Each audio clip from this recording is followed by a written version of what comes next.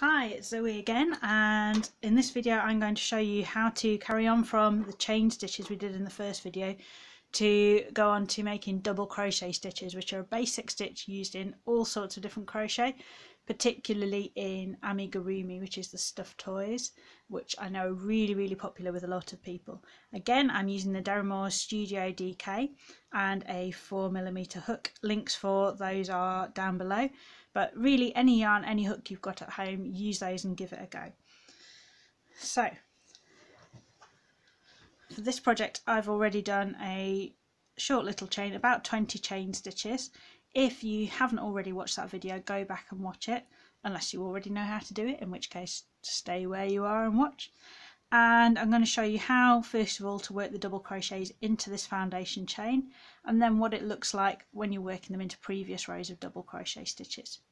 So yarn in my left hand, hook in my right hand and looking at the chains I've already done I'm going to start by inserting my hook into the second one so not the very closest one the second one from my hook and I'm going to put it in just underneath two strands. So I've got two strands on top of my hook and one strand on the bottom of my hook. Other people put one strand on top and two on the bottom. Doesn't matter which, just be consistent, make it the same with everyone. So I've insert my hook, then I'm going to wrap my yarn over my hook, pull it through that chain stitch, like so, so that I've got two loops on my hook, then wrap the yarn over again, and pull it through both of those loops and that's one double crochet stitch. Now it's worth mentioning at this point that that's a double crochet stitch if you're in the UK US terms are different. That's called a single crochet stitch in the US there are all sorts of conversion charts out there so you can take a look yourself if you're not sure if a pattern you're reading ever mentions a single crochet stitch you can be pretty sure it's all in American terms um, but when I make my videos I'll always be using UK terms because that's where I live. So, let me show you again. Pop your hook into the next stitch along. Now, I can see the last stitch I've worked, take my hook out a minute, the last stitch I've worked is already pointing into this gap. So I'm going to work into the next one, which is here. So pop my hook into that stitch, grab the yarn pull it through the stitch for two loops, wrap it over and pull it through both loops. One more time, insert the hook, grab the yarn and pull it through. It's two loops, wrap it over and pull it through two. And I would do that in every stitch until I get to the end of my chain. If you want to pause the video here and go away and do that till you get to the end of your chain, feel free. I'm just going to carry on to the end and if I can work out how to do one of those fancy special effects where we do a speeded up bit, this is where I'll do it.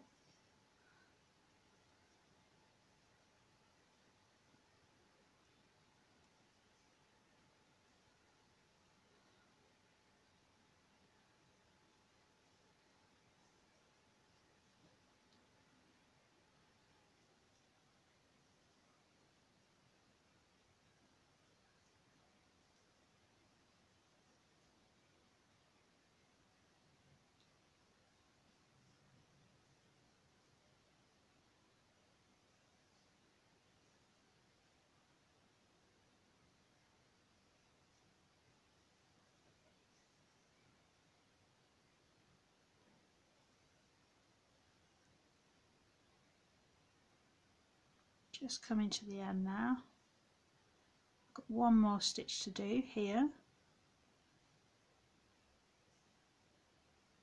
And that completes my first row of double crochet. Now to turn round and go back because I'm working in rows I'll do one chain. This is called a turning chain. It doesn't count as a stitch but it enables you to turn around ready to work back along and gives you the space to work into the top of that stitch. Now this looks slightly different from working into the chain stitches. You can see I need to put my hook into the top of a stitch and if you look along the row of stitches they all look like little V shapes or like little pieces of pearl barley. Okay, you need to make sure that your hook goes in underneath two strands. okay and then you grab the yarn like before pull it through the stitch so both of those strands. You've got two loops on your hook. Wrap it over and pull it through both loops. And then look for your next stitch along. Both of those strands. From the side you can see there's a little hole underneath them. From the top it's that V shape. Grab the yarn and pull it through for two loops. Wrap it over pull it through so you've got one loop back on your hook. When you're doing crochet stitches you know you haven't finished a stitch. If you get interrupted and someone's talking to you and you forget where you've got to if you've still got two loops on your hook you haven't finished the stitch. You need to wrap it over and pull it through so that you've got one loop left. Or if you thought you'd finished the stitch but you've still somehow got two loops you've not finished it. If you get to here be careful. A lot of people at this point when they're learning will accidentally do a slip stitch. So when you've got two loops on your hook the next thing to do is wrap that yarn over. Don't be tempted to pull the front loop through the back loop. That's something else that's called a slip stitch and I'll perhaps talk about that in another video.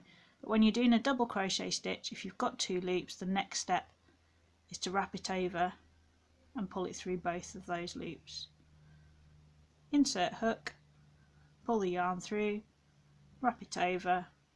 Pull it through both loops and that's all there is to a double crochet stitch really commonly used stitch. Makes a nice dense weave fabric. Great for stuffed toys because you can't see the stuffing through it. Um, and brilliant for a lot of other things as well. If you have enjoyed this video please do subscribe. And check out the other videos as well. There'll be one coming up with treble crochet which is a really useful stitch for all sorts of things not least granny square blankets and there'll also be other content including things I'm doing now what's on my hook different um, patterns I'm trying out things like that so take a look around, see what else you enjoy, and I hope to see you again. Take care.